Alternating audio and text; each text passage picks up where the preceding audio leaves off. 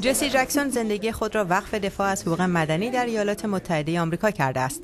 و اخیرا برای شرکت در رویدادی که برای حمایت از حقوق بشر در محل جشنواره بین المللی کتاب ادینبورگ برگزار شد به بریتانیا سفر کرد.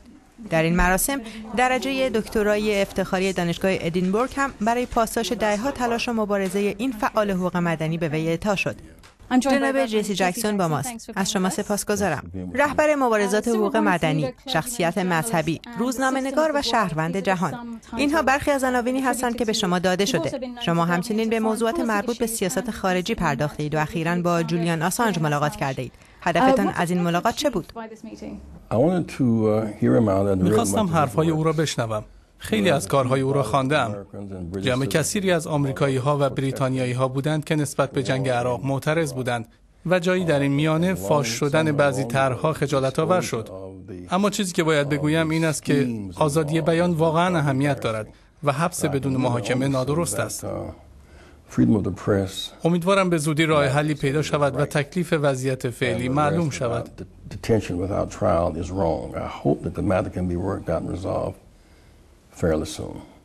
می‌خواهم به موضوعی بپردازم که هم در ایالات متحده و هم در اروپا بحث و جدل فراوانی به همراه داشته.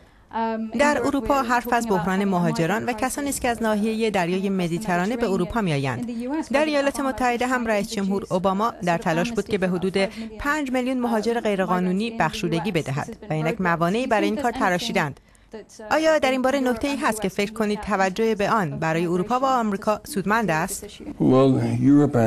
کشورهای اروپایی و ایالات متحده آمریکا کشورهای ثروتمندی هستند و بخشی از دارایی های آنها از منابع کشورهای فقیر تامین می شود. این شکاف عظیم در ثروت، درآمد، تحصیلات و منابع وجود دارد و فقرا برای رفتن به جایی که منابع هست ناشکیبا هستند. بنابراین یا باید پلی بسازیم و روابطمان را با آنها بست دهیم یا اینکه درگیر تهدید و مقابله با امواج انسانی شویم. آرزویم این است که اصول انسانی در این فرایند رعایت شود. مشکل مهاجرت در آمریکا و در اروپا اساسا یک چیز است و علتش هم همین شکاف عظیم است. این شمار عظیم انسان ها خانه هاشان را بر اساس هوا و هوس رها نمی کنند گرسنند و می‌خواهند به حقوق انسانی آنها احترام گذاشته شود. به موضوع دیگری در سیاست خارجی بپردازیم. سفری که شما در گذشته به کوبا داشته اید مشهور است. و حال که پرچم ایالات متحده بر فراز سفارت آمریکا در هاوانا به احتزاز درآمده. چه احساسی دارید؟ حس خوبی دارم. این کار خیلی درست است. موضوع کوبا موضوع جذابی است. چون باید واقعیت رو پذیرفت که در سال 1959 آمریکایی های آفریقایی تبار و لاتین حق رأی نداشتند و از هیچ حق انسانی برخوردار نبودند. تقریبا تمام آمریکایی لاتین تحت اشغال بود. سراسر آفریقا تا خود آفریقای جنوبی تحت نوعی اشغال یا نوعی حکومت استعماری به سر می برد و بقا و استمرار کوبا به این کشورها امید داد. بنابراین اکنون با برقراری روابط سیاسی بین ایالات متحده و کوبا یک دور کامل زده ایم که چیز خوبی است. امیدوارم که پیمان چند جانبه با ایران هم موفق و تایید شود و امیدوارم بعد از این نوبت به ونزوئلا برسد. باید به جای جنگ به صلح روی بیاوریم. هزینه صلح همیشه از جنگ کمتر است. خوب است که به مسئله حقوق بشر اشاره کردید چون یکی از موضوعاتی که در برقراری روابط بین ایالات متحده و کوبا بحث‌های زیادی برانگیخت وضعیت حقوق بشر در کوبا بود. پاسخ شما به اعتراضاتی که در این زمینه وجود دارد چیست؟ خیلی ها از وضعیت حقوق بشر در ایالات متحده راضی نیستند. مثلا جمعیت کشور ما 5 درصد جمعیت دنیا را تشکیل می‌دهد. اما 25 درصد زندانیان دنیا در آمریکا هستند. خود ما با چالش هایی در زمینه حقوق بشر روبرو هستیم و اطمینان دارم اکنون که امکان گفتگو با کوبا پیدا شده است می توانیم برای رفع مشکلات در این زمینه تلاش کنیم. نمی شود به کوبا معیارهایی را تحمیل کرد که خودمان از آنها تبعیت نمی کنیم اکنون در دوران ریاست جمهوری باراک اوباما کارهایی انجام می شود فکر نمی کنید که وی می توانست زودتر به این کارها بپردازد و الان کمی در انجام این کارها عجله و شتاب هست؟ فکر می کنم درباره برقراری مجدد روابط با کوبا ترسی وجود دارد که اگر اوباما پنج سال پیش دست به این کار می‌زد شاید دوباره انتخاب نمی‌شد. و الان این حس وجود دارد که وقت مناسب برای انجام این کار فرا رسیده است. همین نکته درباره ایران هم صحیح است خیلی ها از عادی کردن روابط با ایران میترسند اما منزوی کردن ایران خطرناکتر به نظر می رسد در نتیجه برخی از رهبران سیاسی و افسران عالی رتبه از توافق با ایران ابراز رضایت می کنند و برخی هم آن را رد می کنند فکر می کنم هر دو مخالفت را باید وتو کرد و با ایران روابط تجاری ایجاد کرد که وابستگی متقابل ایجاد کند. همینطور هم با کوبا باید روابط تجاری برقرار شود و بعد هم نوبت ونزوئلا است از ونزوئلا می‌گویم برای اینکه ونزوئلا در نیمکره ماست و در این نیمکره باید صلح برقرار باشد. در مورد ونزوئلا هم حرفای زیادی هست. در این کشور افراد زیادی نسبت به سیاست های دولت معترضند و اعتراضات با خشونت سرکوب می شود. میپذیرید که مشکل حقوق بشر در ونزوئلا وجود دارد؟ مشکل حقوق بشر وجود دارد اما بهتر است که باب گفتگو درباره این مشکلات باز باشد تا اینکه کشور را منزوی کنیم. در چین هم مشکلات حقوق بشر وجود دارد اما با چین هم روابط سیاسی داریم و هم روابط تجاری.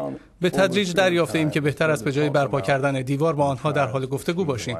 دیواری که در آلمان بین شرق و غرب وجود داشت در نهایت موثر نبود. منزوی کردن کوبا نتیجه نداد. تحریم المپیک روسیه کارساز نبود.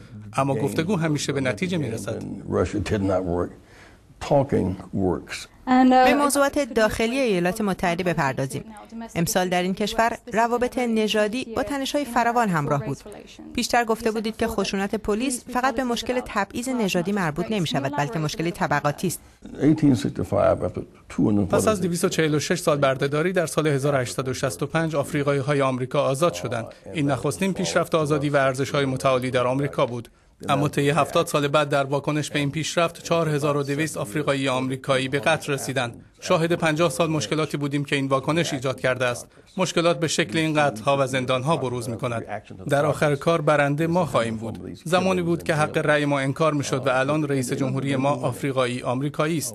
زمانی انتظارات ما کم بود و الان انتظارات ما حد و مرز نمی شناسد. حقوق زنان، حقوق کارگران، حقوق کودکان همه این حقوق تحت تهاجم قرار گرفته و برای تصاحب روح و روان آمریکا و روح و روان اروپا نبردی در جریان است. کسی که می‌خواهد برای عدالت به جنگت باید دونده دو سرعت باشد نباید تسلیم شد و باید تناب امید را محکم چسبید. این نبردی است بین امید و ترس و در نهایت هم امید و شجاعت باید پیروز شود. و پرسش آخر. سال آینده انتخابات ریاست جمهوری برگزار خواهد شد. Um, می‌دانستم که بحث رو به این سمت میارید مهمترین موضوع در این رقابت انتخاباتی چه خواهد بود و چه کسی بهتر از دیگران می‌تواند پاسخگوی این چالش باشد؟ ثروت رو به افزایش هست و فقر هم گسترده تر می شود و طبقه متوسط در حال نابودی است. به همین دلیل است که در یک سو دونالد ترامپ را دارید که می‌خواهد از ترس مردم بهره برداری کند و در سوی دیگر برنی ساندرز را دارید که می‌خواهد امید مردم را برانگیزد. هر دو تلاش می‌کنند با مردمی ارتباط برقرار کنند که حس می‌کنند از عرصه اصلی اجتماع بیرون نگه داشته شدند. باید تعهدی نسبت به برقراری یک عرصه اجتماعی برای همه به وجود آید. عرصه ای که هیچ کس را جا نمی‌گذارد و همه را به درون راه می‌دهد. به برنی ساندرز اشاره کردید که کاندیدای احتمالی دموکرات است و از دوستان شما. آیا این حرف به این معنی است که از وی حمایت می‌کنید؟ هنوز قضاوت در این باره زود است. هیلاری کلینتون کارزار انتخاباتی چشمگیری را برپا خواهد کرد. او همین الان در همه نظرسنجی ها رتبه اول را دارد.